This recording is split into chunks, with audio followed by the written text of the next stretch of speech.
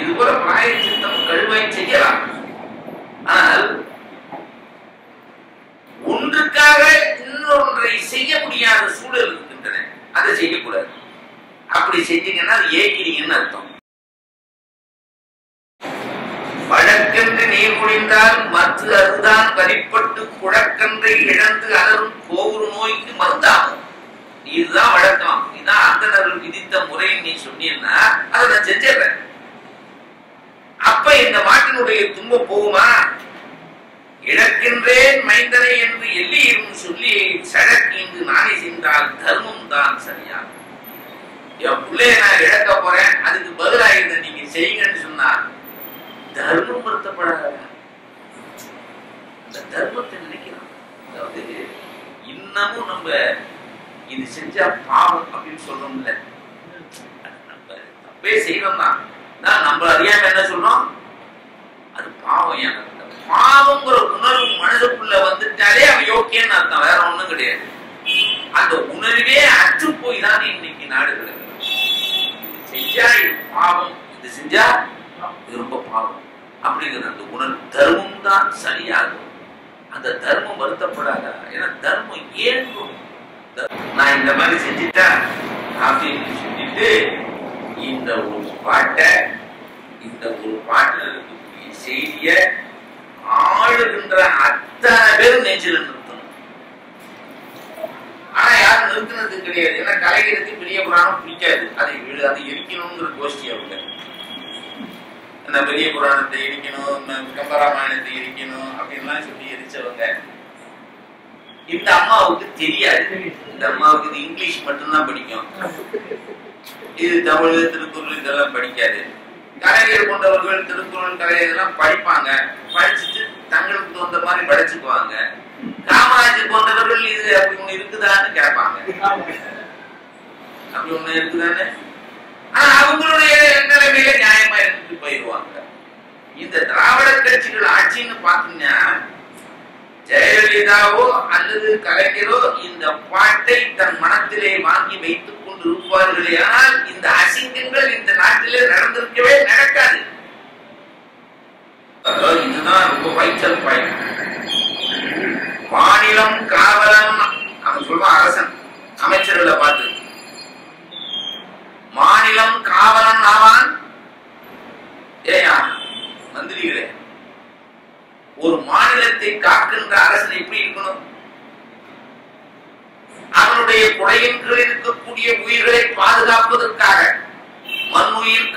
காக்கும் அதான் வெண்கொற்ற குடை அப்படின்னு நம்ம போடுவோம். ஏன் இதெல்லாம் ஒரு சிம்பல்? அரசுகளுக்கு வெண்கொற்றைய கருப்பு குடைய போடக்கூடாதா?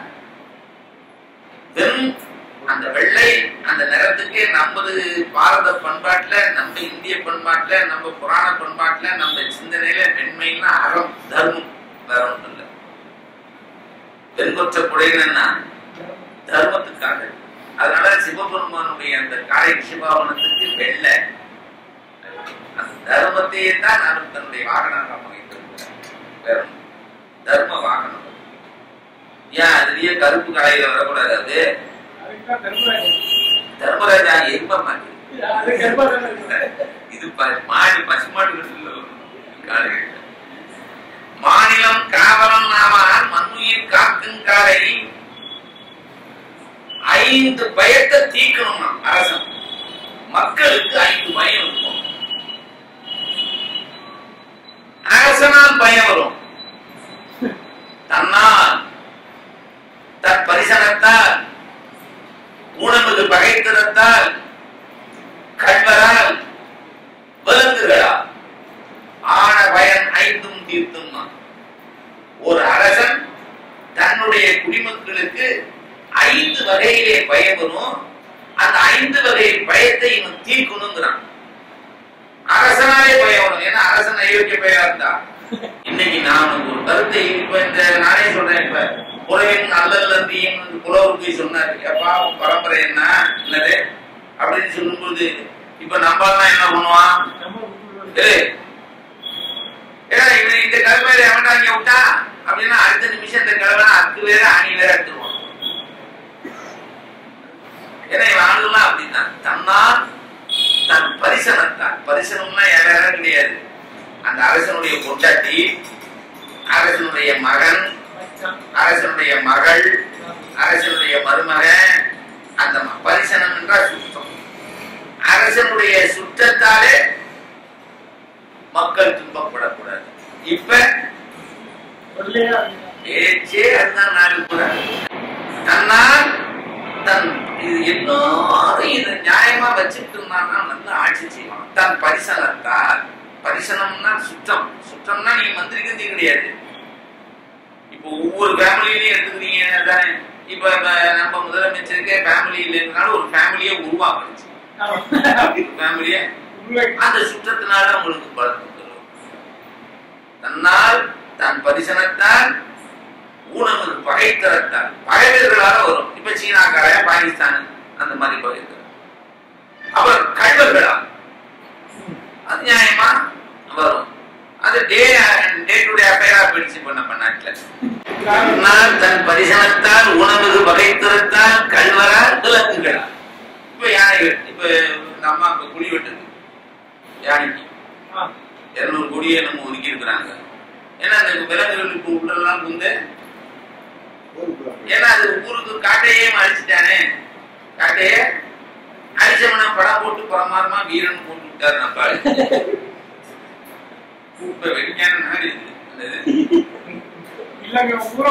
ஆளுமே அதாவது ஏமே அதாவது ரொம்ப நான் அன்னைக்கு நான் சொன்ன பாருங்க நல்லவன் அப்படிங்கிற ஒரு சொல்லி இந்த நாட்டில இருந்து எடுத்தாங்க அவனுக்கு பதிலா இவர்கள் தான் கூட்டத்தை சேர்த்து கொண்டால் எதையும் செய்யலாம். ஆனா இது ரொம்ப நாள் ஓடாது. இந்த கூட்டத்துக்கு எது கூட்டம் ஒரு காலத்துல கண்டிப்பா அதுதான் நமது புராணங்கள் சொல்லுகின்றன. நூத்தி எட்டு யுகங்களே ஆயிரத்தி எட்டு ஆண்டுகள் ஆயிரத்தி எட்டு யுகங்கள் நூத்தி எட்டு இந்த நில பகுதி இதை ஆளுவதற்கு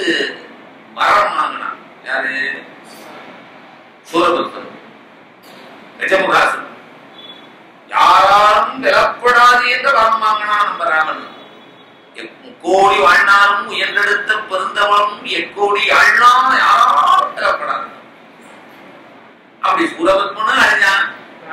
ராமனும் அழிஞ்சான். கஜமுகாசனும். ஆக அழிவு கண்டிப்பா அவர் என்ன கொஞ்ச நாள் தள்ளி போடும் அவ்வளவுதான் நாம் ஏன் இந்த புராணங்களை படிக்கிறோம் சொன்னோம்னா நூத்தி எட்டு யுகங்கள் ஆளுகின்ற அந்த ஆற்றலை அவன் பெறுகிறான் என்று சொல்லப்பட்டார் எவனுக்கும் ஒரு முடிவு உண்டு. அந்த முடிவை நினைச்சாலும் அந்த தப்பை செய்ய மாட்டான். இந்த தப்பை ஏன்னா அந்த காலத்துல பாத்தீங்கன்னா மக்களை உயிராகத்தான் இந்த அரசு இங்கே வரும்.